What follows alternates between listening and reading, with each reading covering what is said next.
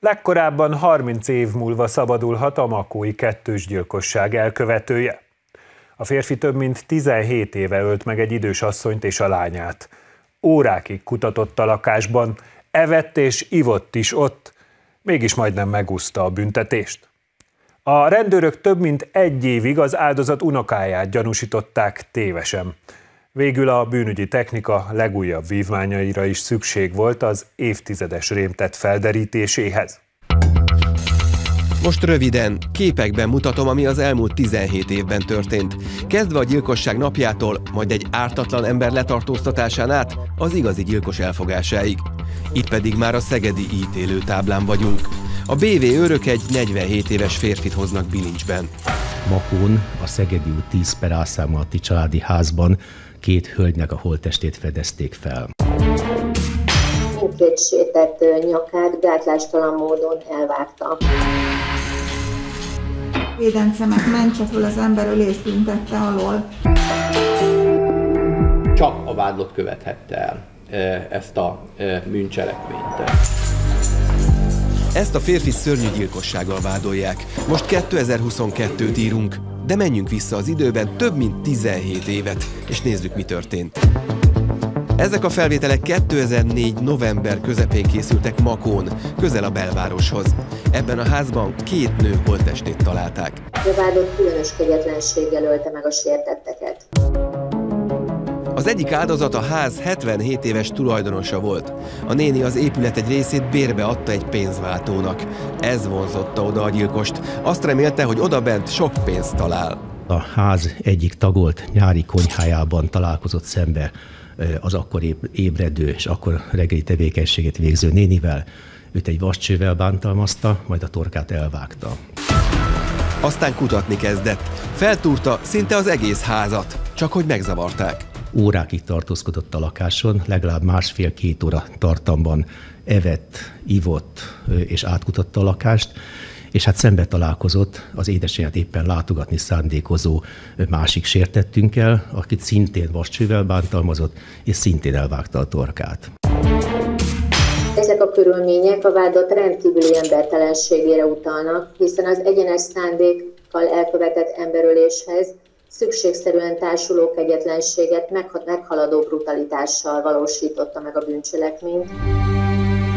A helyszínelők rengeteg nyomot rögzítettek, amit a gyilkos hagyott maga után. Tele volt minden az új lenyomatával, és ott hagyta a kesztyűjét rajta a DNS-ével. Aztán kettő héttel a gyilkosságok után a rendőrség bejelentette, hogy megvan a tettes. Szagnyomokat rögzítettek a helyszínen, és az ügy gyanúsítottjának szagnyomát a szagazonosítást végző kutya kiválasztotta. Itt kontrollvizsgálatot is végeztünk, és az ismételt szagazonosítás is ugyanazt a pozitív eredményt hozta. A szagnyomokra alapozva a rendőrség a 77 éves áldozat unokáját gyanúsította meg a kettős gyilkossággal.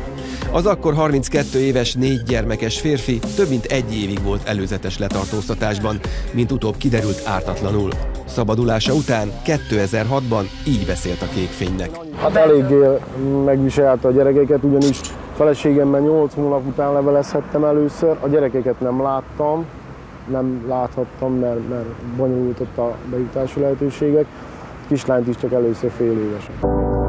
Úgy bántak vele, mint egy gyilkossal. Külön riportot érdemelne az ő kálváriája.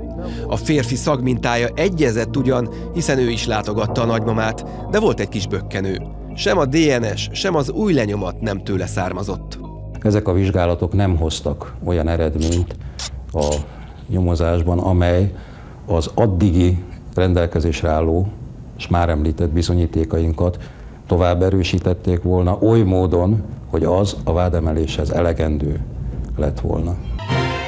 2006 tavaszán, másfél évvel a makói kettős gyilkosság után az ügyészség megszüntette az eljárást az ártatlanul meggyanúsított férfi ellen, és szabadon engedték.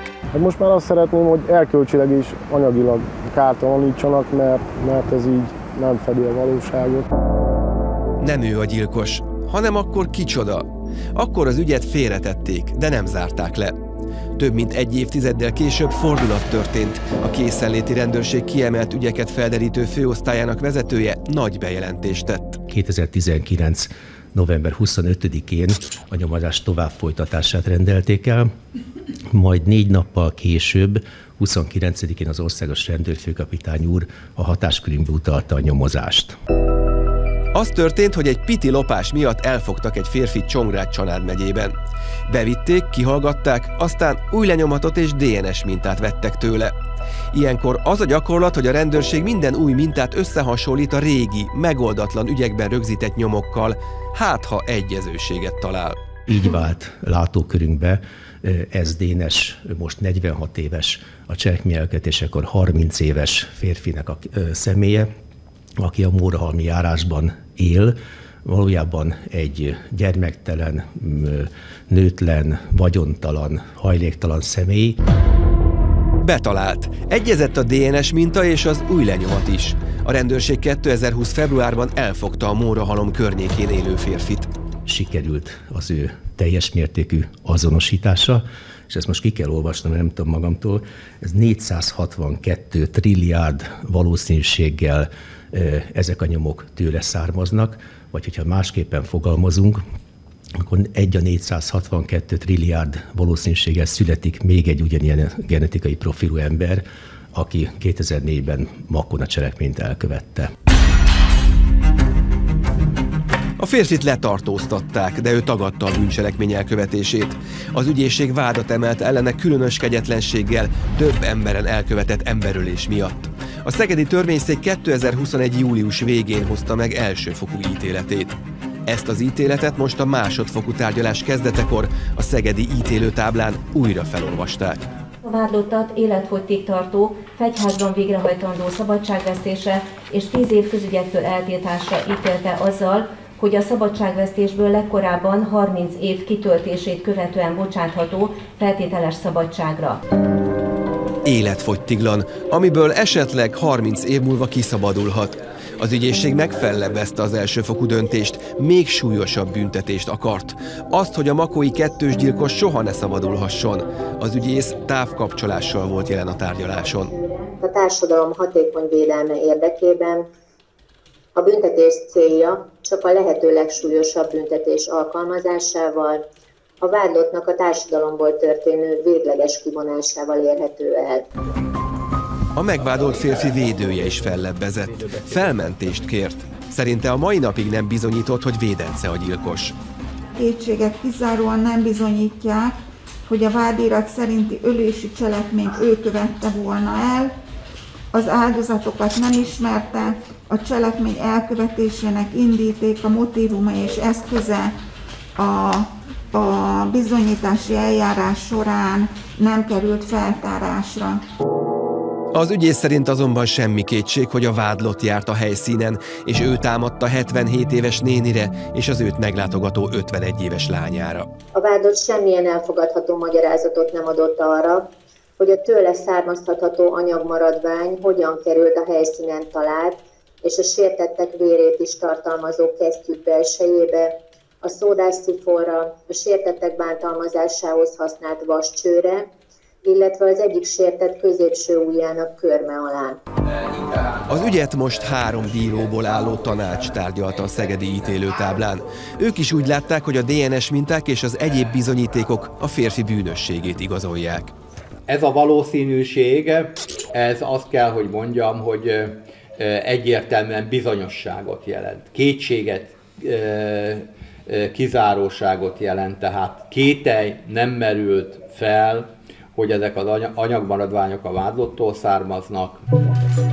A szegedi ítélőtábla végül elutasította mindkét fellebbezést, tehát szó sem lehet a vádlott felmentéséről, de a büntetését sem súlyosították. Ugye volt súlyosításért is, enyhítésért is felebbezés, ehhez képest mi azt mondtuk, hogy jó az életfogytiglan legkorábbi 30 éves feltételes szabadságra bocsáthatósággal.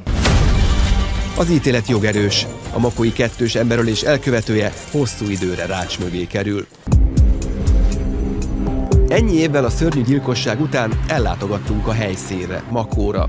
A házban, ahol 2004. november 16-án a tragédia történt, a mai napig működik egy pénzváltó. Kerestük az áldozatok rokonát is, azt a férfit, akit először meggyanúsítottak, nagymamája és nagynénye megölésével. A most 50 éves családapa kérte, hogy ne bolygassuk a múltat. Róla annyit lehet tudni, hogy ártatlan meghurcoltatása miatt 15 évvel ezelőtt beperelte a magyar államot. 10 milliós kártérítést kért, amiből 2,5 milliót ítélt meg neki a bíróság. A pénz egy részéből házat vett Nagylakon, azóta is ott él a családjával.